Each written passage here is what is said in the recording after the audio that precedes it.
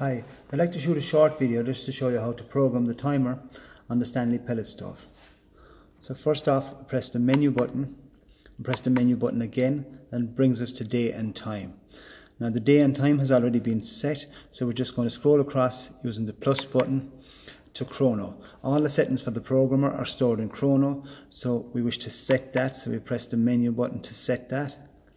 And now this brings us to a place where we can enable the timer. Now we're not ready to enable it yet because we first need to set the timer before we enable it. So we're going to scroll across and it brings us to load profile. If you wish you can load profile.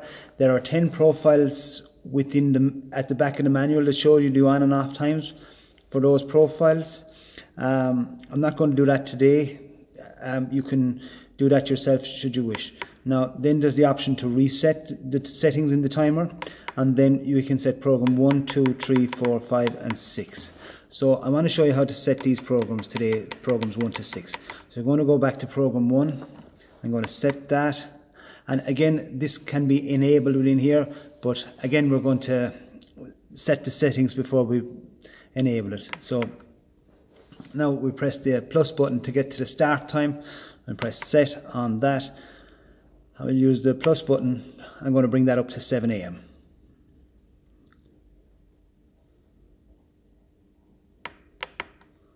Okay, and then using the plus button we'll move to the stop and set that and I'm going to move this to 9 a.m.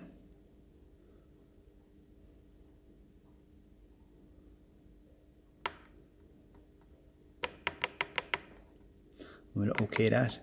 Now once we have the start and stop time set we can change the temperature at, for that duration that the pellet stove will work to. So I'm going to set that, I'm going to bring it up to 19 and that's okay. And then after that we can set the fire level. So we set that and I'll bring it up to 5. We can see it scrolls from 1 to 5. So 5 is okay. Uh, then we can select the days of the week that we wish the pellet stove to come on between 7 and 9. So I'm going to press set on that. Now we can see Sunday is off. I'm going to leave Sunday at off and I'm going to move on to Monday and I'm going to set Monday to on. So if we press set and plus it moves it to on and we'll OK that. Now Monday is set. So again it's straightforward just by pressing the plus button followed by the menu button. Repeatedly we can do it for all the days of the week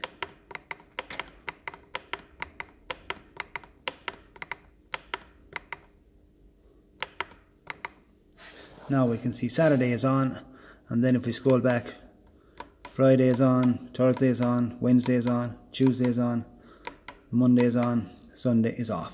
Okay, so that's fine. That's as we wish. We'll escape from there and go back to enable. So I wish to enable program one.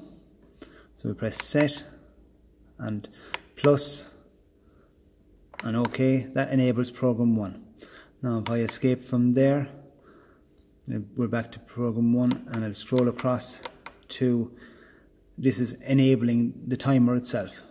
So press set and plus and that's enabled.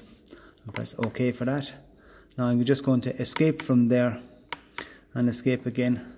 And now we can see that it's showing the pellet stove is off but it's showing that the chrono is programmed. So the program one has been set to switch on the pellet stove between 7 and 9 on Monday through to Saturday. Thank you.